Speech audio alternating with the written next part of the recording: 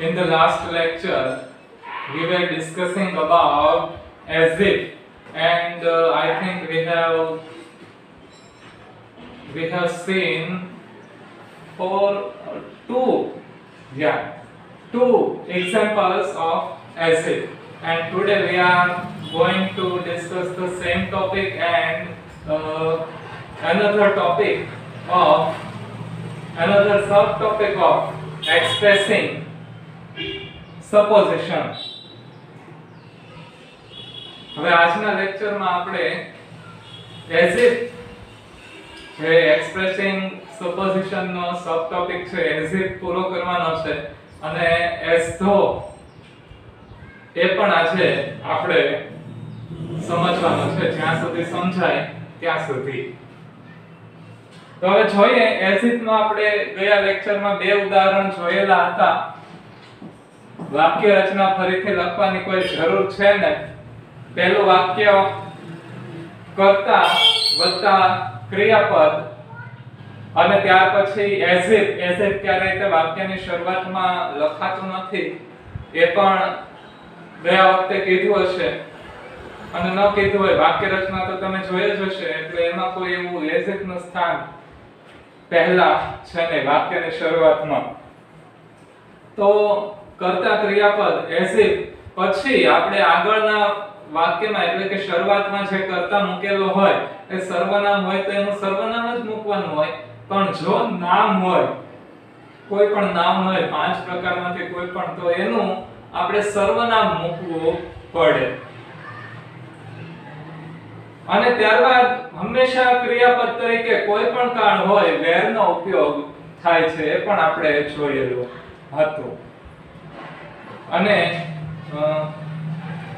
ત્યારબાદ where પછી આપણે જેની સાથે એની કમ્પેરિઝન કરતા હોઈએ, જેની તુલના કરેલી હોય, જેની ઉપમા આપેલી હોય, આ સરળ શબ્દોમાં કહો તો અંગ્રેજીનો ઉપમા અલંકાર છે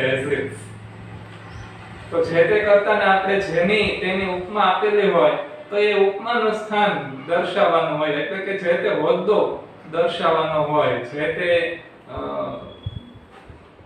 વ્યક્તિ અથવા તો વસ્તુની જેમ કાર્ય કરે છે, જાણે કે એવું કાર્ય કરે છે, તો એ વ્યક્તિ અથવા તો વસ્તુનું સ્થાન, એનો હોદ્દો દર્શાવવાનો હોય છે. તો એ બધું આપણે ગયા લેક્ચરમાં શીખેલા હતા. હવે આ જ લેક્ચરમાં એનું જ આપણે એક્ઝામ્પલ્સમાં પુનરાવર્તન કરવાનું છે. જોઈએ, આ ત્રીજું એક્ઝામ્પલ્સ છે.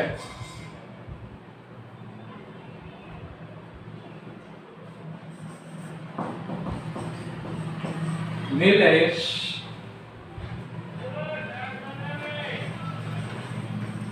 કટ્સ કાળ કયો લીધો છે કટ્સ ઉપરથી તમને ખ્યાલ આવી જશે, સાદો વર્તમાન કાળ Nilesh cuts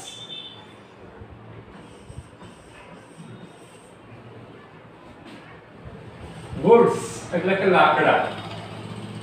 Nilesh cuts woods. હવે ત્યારબાદ શું મૂકવાનું છે? એસ ઇફ કર્તા ક્રિયાપદ કર્મ. જો મેં તમને પહેલા કીધેલું હતું ગયા લેક્ચરમાં કે કર્મ અનિવાર્ય નથી.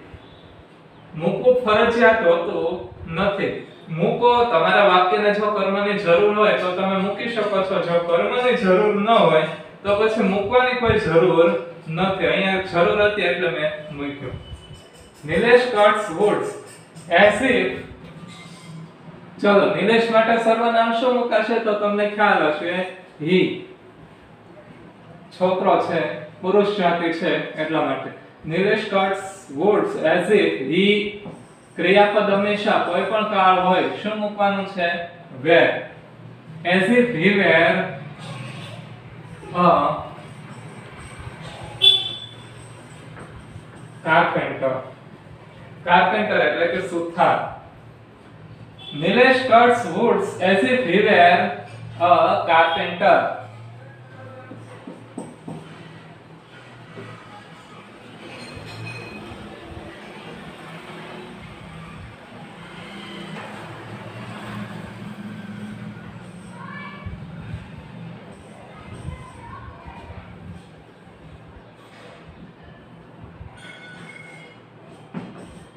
Cherry તો આવા નામ અ, વિદેશમાં હોય અહીંયા નથી હોતા. Cherry.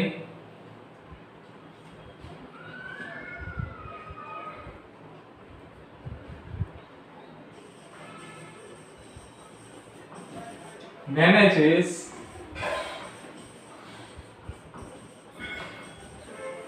everything.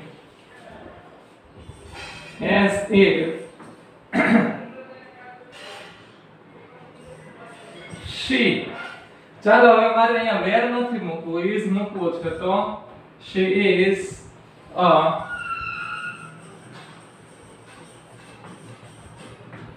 manager as if she is a manager. Cherry manages everything as if she is a manager. તો હવે અહીંયા મેં is મૂક્યું છે તો સાચું છે કે ખોટું છે તો હા સાચું જ છે બરાબર છે. ની જગ્યાએ તમે વેર પણ મૂકી શકો છો. વેર મૂક્યું હોય તો વધારે સારું, નહીતર જેને કાળ પ્રમાણે મૂકવાની ઈચ્છા હોય તો એ એમ પણ મૂકી શકે છે. અહીંયા જેમને મેં મૂક્યું છે, એમ.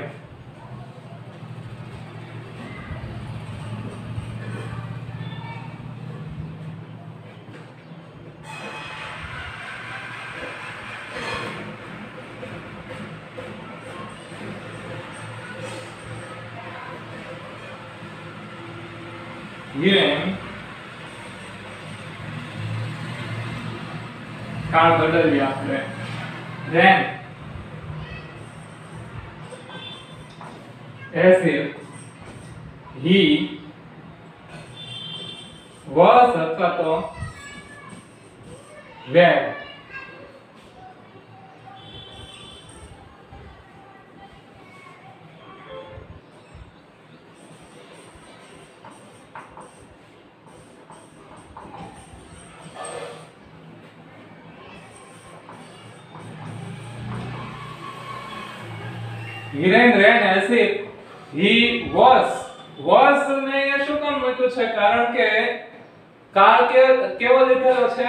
ભૂતકાળ લીધેલો છે. એટલે કાળ પ્રમાણેનું ક્રિયાપદનું રૂપ પણ મૂકી શકાય. અહીંયા ટુ બી ના રૂપ જ આવશે.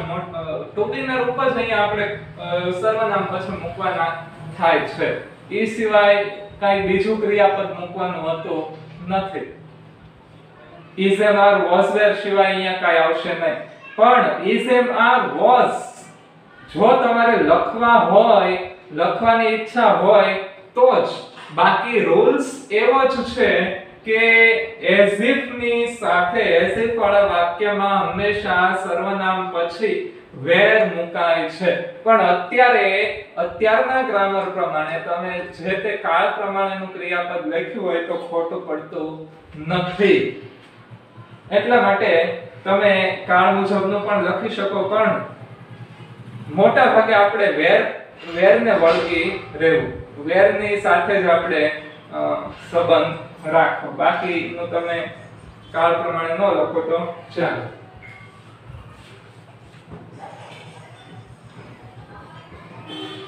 કારણ કે પાછળથી કોઈ વાંધો લીધો હોય કે ના, અમને તો સ્કૂલમાં વેર જ શીખવાડેલું છે, તો પછી આપણને વાંધો આવે નહીં.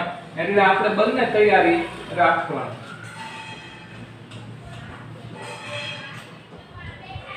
કેમ કે આન્સર કીમાં પછી ભૂલ પણ ઘણા નોંધાવી શકે. બોર્ડ આન્સર કી જાહેર કરી હોય, અને એમાં એવું લાગ્યું હોય કે ના, મોટા મોટા ભાગની શાળાઓએ વેર શીખવાડ્યું હોય, તો પછી વાંધો લઈ પણ શકે.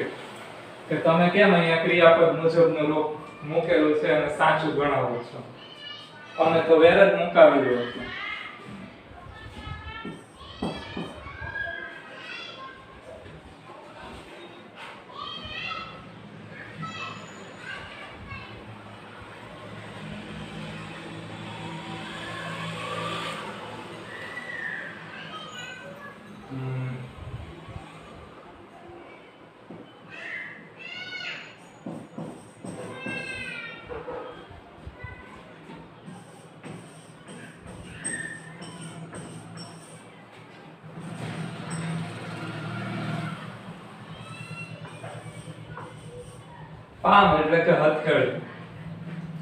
They observe my palm as if they were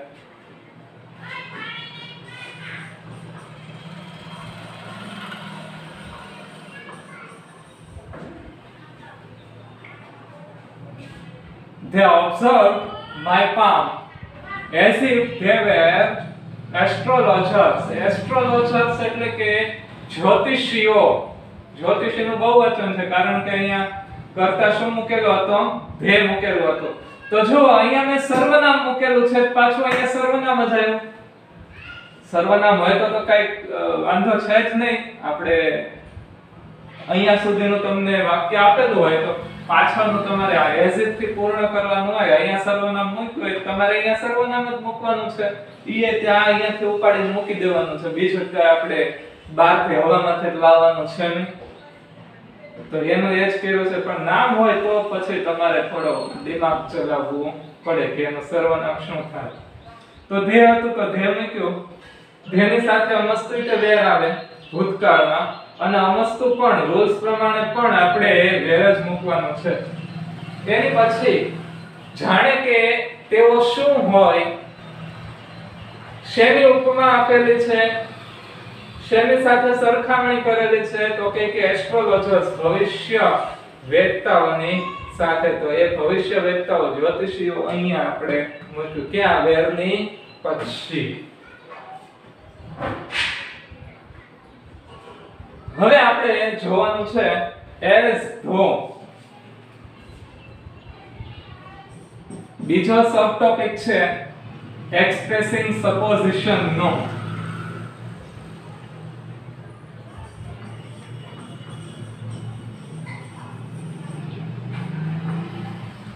એનો પણ અર્થ થાય જાણે કે કોઈ પણ જાતનો ફેર નથી. જે રીતના ક્રિયાપદ આમાં લેતા હતા, એ જ રીતના એમાં લેવાનું છે. જે રીતના આ વાક્ય રચના આમાં હતી, એ જ રીતના એમાં પણ છે એસ ધોમાં પણ. જે રીતના એસ તો પછી સર્વનામ એસ પછી સર્વનામ મુકાતું. એ જ રીતના એસ તો પછી એટલે સર્વનામ મુકાશે. અને એસમાં જેમ વેર મુકાતું, એમ આમાં પણ વેર મુકાશે. પણ આમાં છૂટ એ વાતની છે કે આમાં તમારે ક્રિયાપદ, કાળ પ્રમાણેનું ક્રિયાપદ લેવું હોય, તો એની તમને છૂટ આપવામાં આવે છે.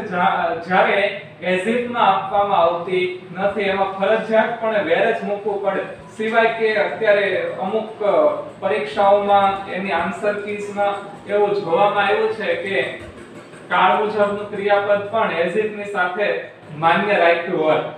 પણ એવો કોઈ નિયમ અત્યાર સુધીમાં બન્યો નથી કે જે કે જે એમ કહેતો હોય કે ના કાળ મુજબનું ક્રિયાપદ મૂકવું, વેર ન મૂકવું.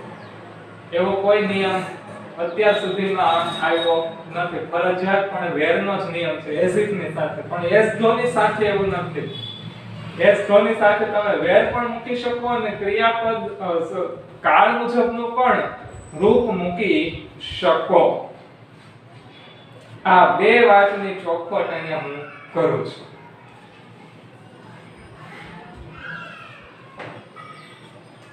હવે એસ ભાવની વાક્ય રચના આપણે જોઈએ તો કોઈ પણ જાતનો ફેર નથી. કરતા વત્તા ક્રિયાપદ. કર્મ અનિવાર્ય હોય તો જ મૂકવાનો છે, નહીતર નહીં. એટલે એસ ધો. એસિડની જગ્યાએ શું મુકાશે? એસ ધો. પ્લસ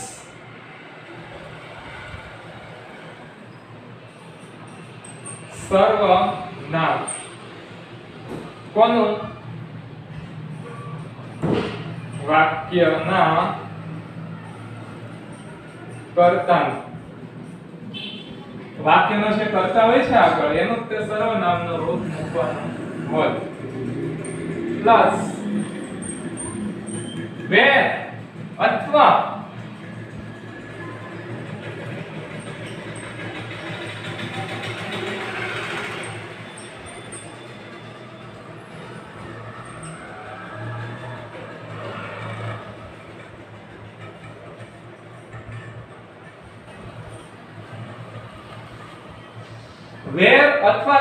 વાક્યના કાળ મુજબનું કાળ ક્યાંથી, અહીંયાથી તમને ખબર પડે.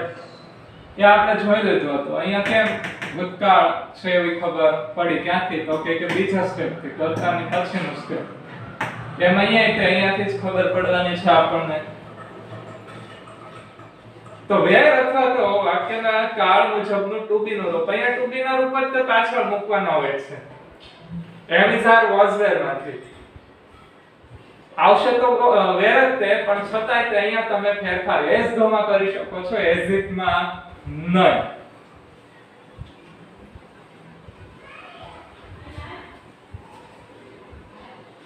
હા, અને પછી તો કે કે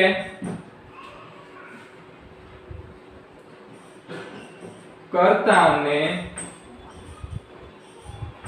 જેની ઉપમા આપી હોય તે શબ્દ. કર્તાને જેની ઉપમા આપી હોય જેની સાથે આપણે સરખામણી કરી હોય એ શબ્દ. એ પણ તમને ખ્યાલ છે આપણે દાખલા તરીકે ધ્યેય છે તો અહીંયા તેઓ મારા પામને મારી હથેળીને કઈ રીતના ચકાસતા હતા ઓબ્ઝર્વ કરવું એટલે કે અ, ધ્યાનપૂર્વક જોવું. અવલોકન કરવું. જેને આપણે શુદ્ધ ગુજરાતીમાં ઓબ્ઝર્વ એટલે કે અવલોકન કરવું. તો તેઓ મારી તેઓ મારી હથેળીનું કઈ રીતે અવલોકન કરતા હતા જાણે કે તેઓ શું હોય, જ્યોતિષીઓ ન હોય એવી રીતના. તો અહીંયા જ્યોતિષીઓ છે એને એ આ ભેની ઉપમા છે. તો હવે આના એક્ઝામ્પલ્સ આપણે જોઈએ.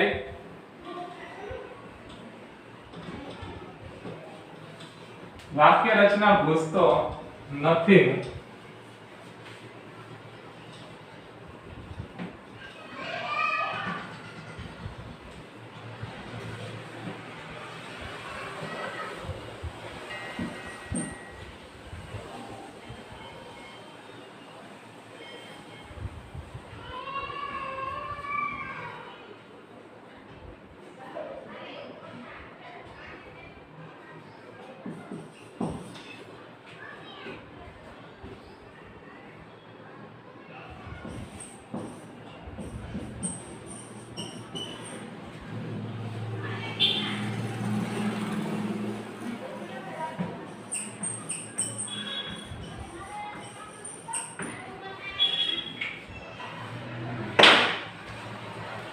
he declared his judgment judgment એટલે કે અ, ચુકાદો he declared his judgment as if તો અહીંયા એઝ ઇફ નહીં પણ આપણે શું જોઈએ છીએ એઝ તો એઝ ધો અહીંયા સર્વનામ જ મૂકેલો છે, તો અહીંયા આપણે એ સર્વનામ રાખવાનું હોય છે, હી. એઝ ધો હી ચાલો કાળ તો છે, ભૂતકાળ છે, એટલે એઝ ધો હી, વેર અથવા તો કાળ મુજબનું રૂપ મૂકવું હોય તો was as if he was a judge જજ એટલે ન્યાયાધીશ.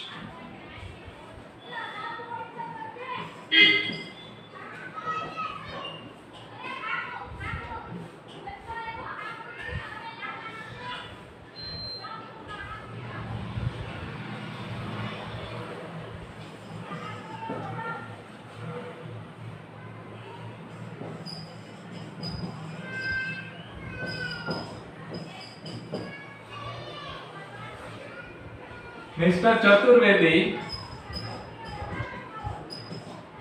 recites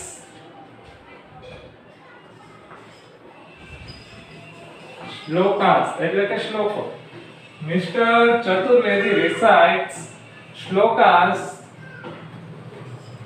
as though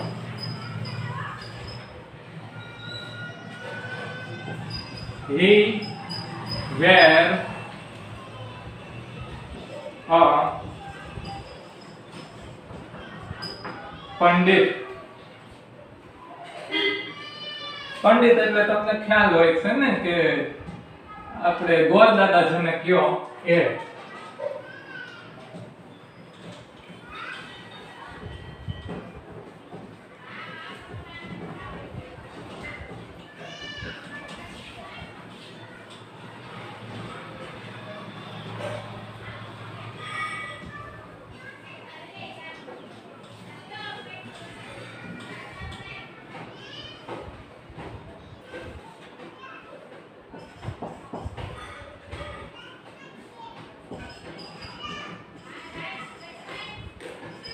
Vaibhav can can retaliate repair car as though he were અથવા તો હવે કેમ? વર્તમાન કાળ દર્શે ભૂતકાળ તો હોત, એટલે આ જે કેન વાળું વાક્ય છે વર્તમાન કાળનું છે. એટલે ટુ બી નું રૂપ શું આવે? હી ની સાથે is વૈભવ આવે as though he is a mechanic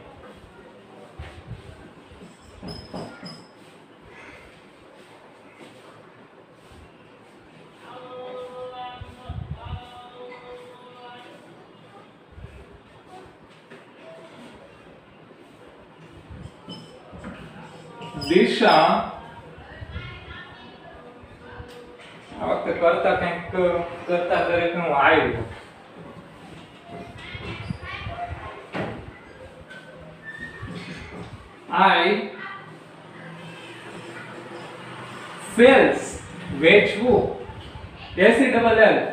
સાદો વર્તમાન કાળ વાળું વાક્ય મેં લીધેલું છે એટલા માટે સાદા વર્તમાન કાળમાં મારે લખવું છે એટલા માટે હા, બરોબર જ છે.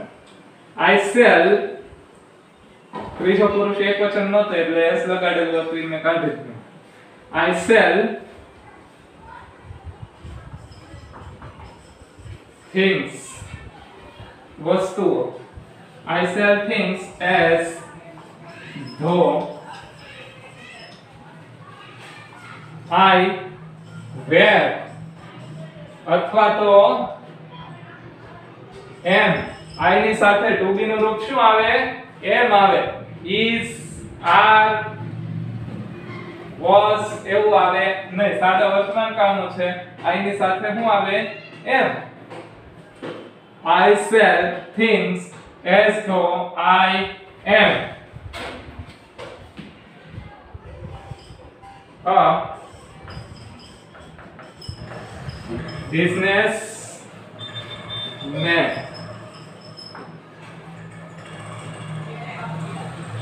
તો આવી રીતના આપણે એસ ધોના ચાર ઉદાહરણ જોયા છે.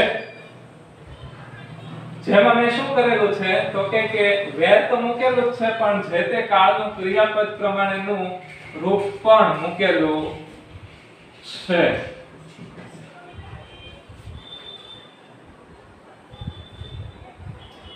કરતા બહુવચન હોય તો આર પણ મૂકી શકાય. તો આજના લેક્ચરમાં આપણે આટલે સુધી રાખીએ છીએ. આ ટોપિક આપણે અહીંયા જ પૂરો થઈ ગયો છે. આપણું બીજું ફંક્શન પણ 12મા ધોરણનું અહીંયા પૂરું. હવે પછીના લેક્ચરમાં કોઈ નવા ફંક્શનથી આપણે શરૂ કરીશું. બે લેક્ચરમાં પૂરું થઈ ગયું છે. છતાંય તેમાં કોઈને ડાઉટ હોય તો તમને યોગ્ય લાગે એ રીતના તમે પૂછી શકો છો. એ પરવાનગી તો તમને છે જ પહેલેથી.